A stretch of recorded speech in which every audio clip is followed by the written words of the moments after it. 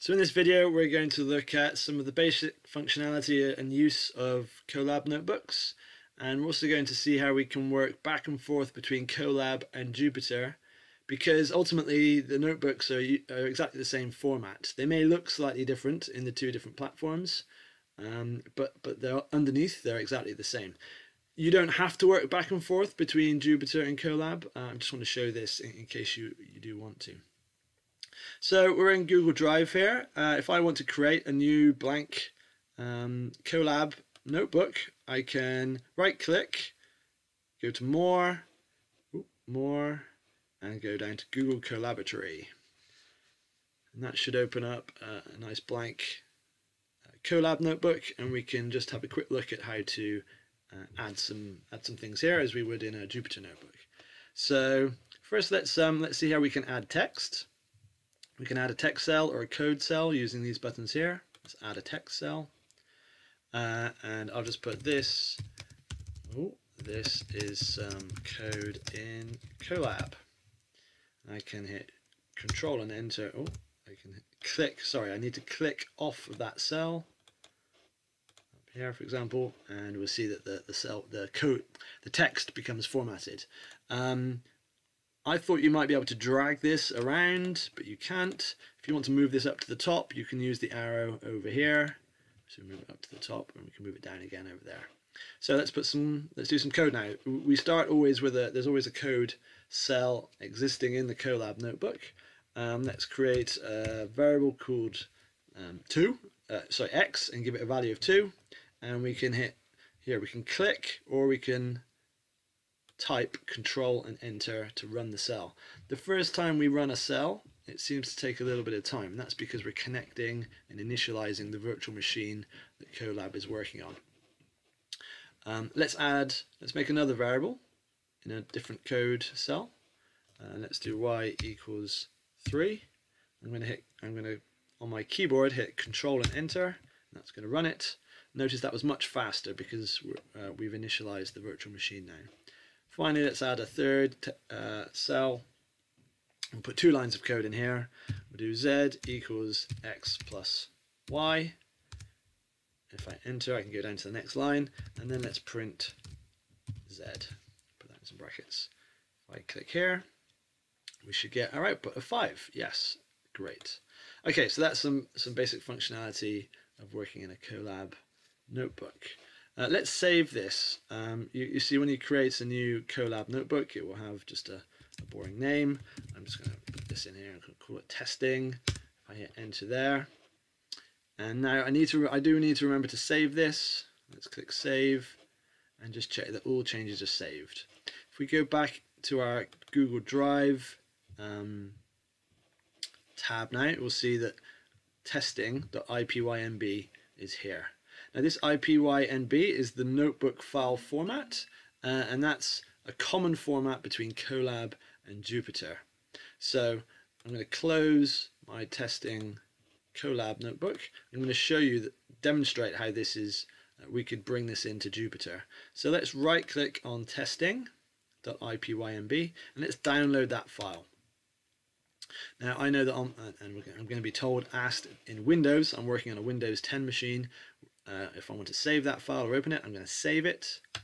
And I know that in my browser in Firefox, that will have been downloaded to my downloads folder. And here we can see is the, uh, is the file.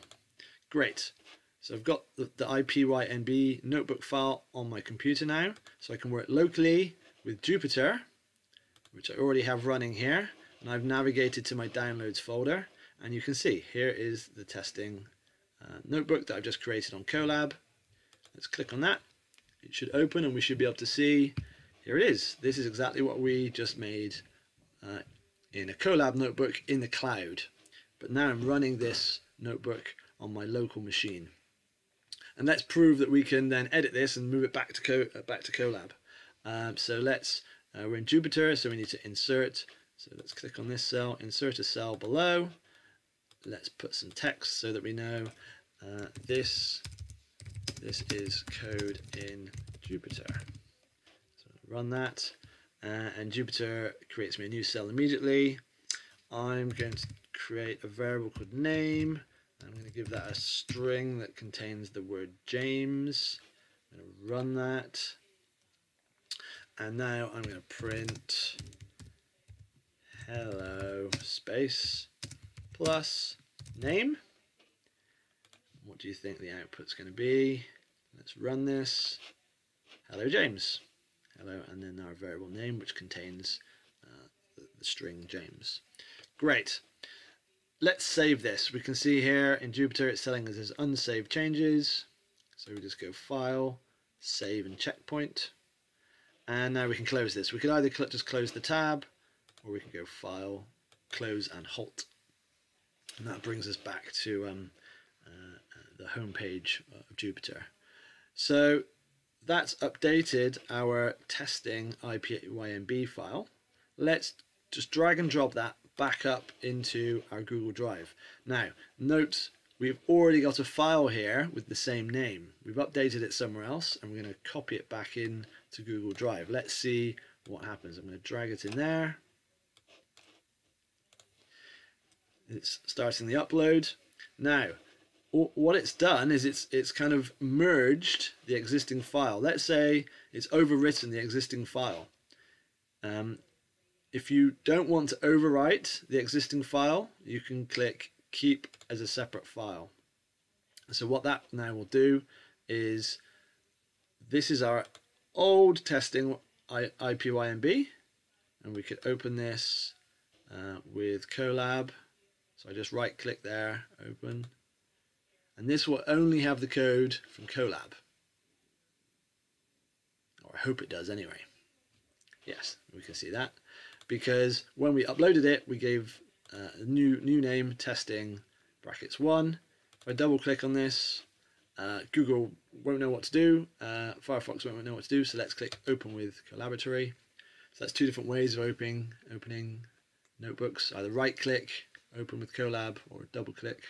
And here, this is the file that you know we've edited, and we've got our Jupyter code in it. So when you um, are up uploading files into Google Drive, that have the same name as something that's existing, you need to decide, do you want to overwrite the file, which is the default um, setting, or do you want to create a separate file? And then you would click on this um, here. Great. Uh, the last thing I want to show in this video is um, some of the uh, the ways that Colab notebooks treat existing IPYNB files. So here's a CodeCamp notebook that I've um, uploaded previously. Uh, we're going to open that with Google Colaboratory. And you should recognize this. This notebook once it opens. Here it is. Um, the, this is our, our CodeCamp notebook. And what I want to show here is that um, Colab notebooks have these arrows on the left here. And that allows us to um, collapse and open sections of the notebook. So here with the down arrow, that means that all the subsections of the, of the notebook are open here.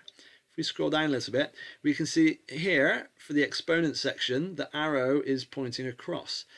Colab has actually hidden 18 cells. So I just want to highlight this that you might need to check expand to expand all those cells. Look, there was stuff inside here. There are cells that were hid that um, Colab had hidden from us. So we could run that.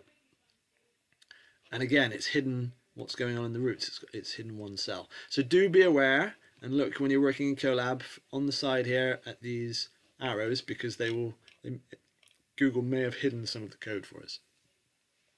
Okay, hopefully you found that useful to see some of the basic functionality of Colab notebooks and how we can work back and forth between uh, Colab notebooks and in Jupyter.